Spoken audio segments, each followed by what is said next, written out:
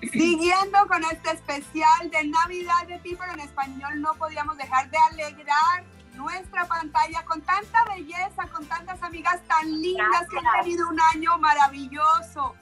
Gisela, Alex, Mirka, Ibero que anda por ahí, por el camino en alguna parte. Bienvenidas a este especial que es para celebrarlas también a ustedes. Un año lindo, un año que las ha juntado, que las ha hecho de verdad compartir y convertirse en, una familia muy linda y muy especial.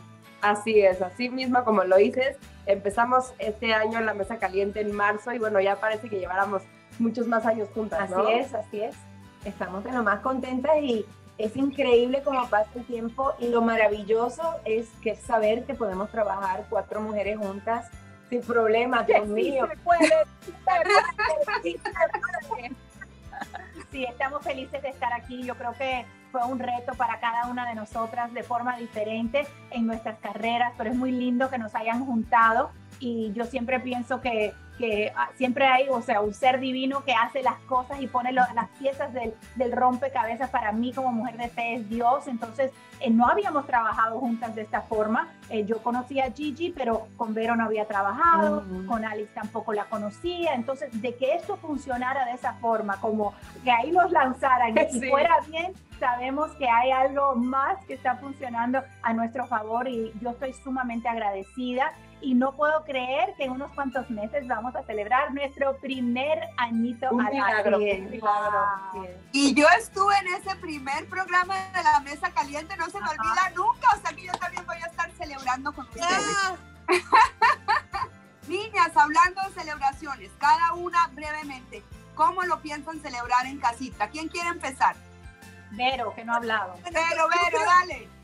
Yo creo que estamos muy bendecidas en este año y nada más lo único que nos hace falta es estar con salud con la gente que amamos, Kika. Y yo creo que ese es el mensaje que le tenemos que llevar a todos los latinos que en este momento están trabajando fuerte y estamos volviendo a salir adelante después de esta pandemia. Yo creo que lo que vamos a hacer este año es agradecer, agradecer todas las bendiciones que Dios nos ha dado, de que sobrevivimos y de que ojalá podamos estar con nuestra familia. Pero si no es así, en este país como inmigrantes, hacemos una familia también. Entonces todas esas personas que podamos juntarnos, que podamos rodearnos llenos de amor, de felicidad y compartir esa mesa que tanto nos gustan los latinos, compartir nuestras tradiciones y nuestra comida, creo que eso es lo que más queremos en esta Navidad. Y por supuesto estar con nuestros chiquitillos de la casa y abrir regalos, que es lo que más les gusta. Sí, bueno, yo hago lo mismo con mi familia ya que estoy aquí en Miami, pero yo recuerdo, como dice Vero, eh, unos años que pasé en Los Ángeles y muchas veces pues no, no podía pasar ese tiempo con mi familia porque estaba trabajando y me sentía un poco triste. Entonces yo quisiera pues hablarle a la gente que en este momento está sin su familia. Nos vas a invitar a todos a la casa.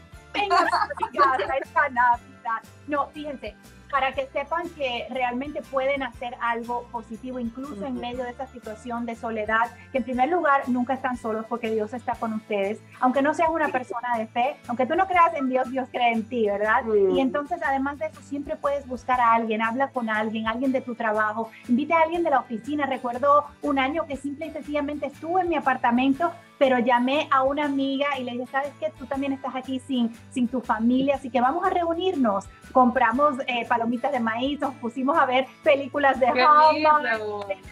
¿Sabes qué? Que la pasamos bien y encontrar la felicidad en cada detallito que vivimos, porque no sabemos cuándo se nos termina nuestra jornada aquí en este mundo. Así es, bueno, yo voy a tener también una Navidad muy especial. Eh, yo estoy acá lejos, en México está toda mi familia, y bueno, Diego y yo vamos a ser hosts por primera vez de una Navidad.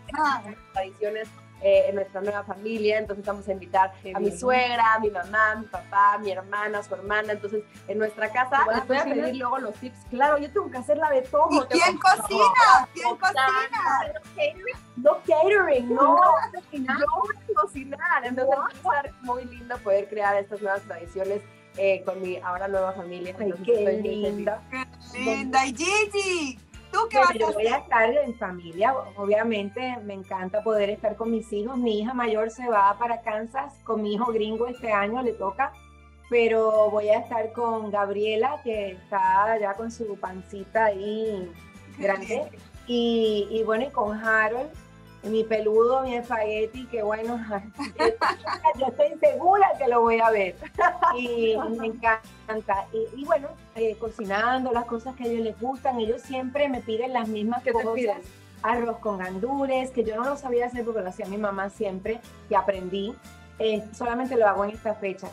Eh, me piden tortitas de, de calabaza, de barriguitas de vieja y tengo que hacer siempre ensalada de papas. O sea que esa cosita, lo demás lo ordeno, gracias, porque no sé hacer ni cosas ni pavo.